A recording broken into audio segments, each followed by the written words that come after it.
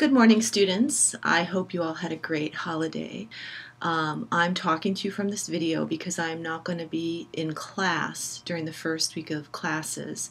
I'm going to the Scripps Howard Entrepreneurial Institute in um, at Arizona State in Phoenix, Arizona, where I'm going to meet with some of the top um, media instructors and researchers uh, in the United States, and we're going to talk about ways to um, integrate entrepreneurship and new technologies into the journalism curriculum, journalism and communications curriculum. So when I come back, you guys will be the direct beneficiary of um, all the amazing things I'm going to learn, particularly in the second half of this semester. Um, so let me step back one more one more step. This is digital publishing workshop. Um, our class is going to be divided into two sections. The first section before spring break, we're going to learn how to code. Um, we're going to learn HTML5, CSS3.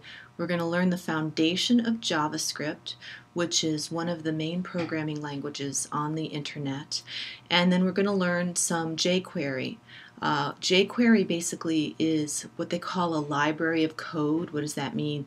It means that all the fun things you might want to do in programming with JavaScript, like fun um, rollover buttons or animations, someone has already written most of the programming code to make this happen um, in, in jQuery. And all you need to know in order to make it work for you is a little bit of the foundations of JavaScript so that you can make the changes uh, to make it work for you so you can customize it for your site. Um, so we will learn just enough JavaScript to be able to do that. Um, and I hope, I believe that this will give you a really firm foundation um, so that you can go forward from what we learn in this class and apply these new skills to journalism, public relations, any kind of web publishing, mobile media development. Um, these skills really are pretty universal at this at this point, and not everybody um, is skilled in them, and certainly most communication folks are not skilled in them. Um, I've had several students who have learned the basics of HTML and CSS and a little bit of JavaScript um, who have who have secured some really excellent internships and employment opportunities because they had these skills and the other people did not. So let me really encourage you um, to take everything that we're going to learn very seriously because it can sincerely help you um, as you traverse your career. That being said, um, HTML, CSS, not that difficult. JavaScript a little trickier, but we will be going through step by step um, no, I don't assume that anybody has any prior knowledge of um, HTML or JavaScript, so we're all coming in this as beginners. We're going to use something called Codecademy, which is a very famous tutorial system on the web, and they have fantastic step-by-step -step tutorials that you can do at home to learn the material and to hone your skills. And then we will use those skills that we learn to make some HTML pages. So we'll make a, um, we'll do a layout, um, we'll do a um, photo slideshow, and we'll do a multimedia package, a story with text and images and video integrated within it.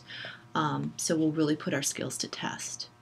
The second part of the semester is going to be about mobile application development. So um, someone from the Scripps Howard Institute in Ohio has put together a very comprehensive module on um, teaching mobile development to college students and we're going to use that as the basis for understanding you know how you put mobile applications together what platforms are important once you make an app how you get it out there um, and we will work in teams at the end of the semester to come up with an idea for a mobile application something that could work on a smartphone on a feature phone on a tablet on a um, laptop, possibly on some other kind of mobile device um, for a specific purpose. And so you'll put together a product plan. We'll do a little bit of um, market research. It'll be fun and easy, I promise. And um, a little bit of focus grouping. So you're going to talk to some people who might be your customers and get some feedback about your idea. And then you'll build a little prototype, either with one of the mobile application kits that we'll find on the internet or using your HTML, CSS, JavaScript skills, or through a video or through storyboards. We're going I'll be flexible about that. So we're going to have a really great semester. I'm sorry I won't be here for the first week, but I'm going to give you a series of assignments that you're going to do.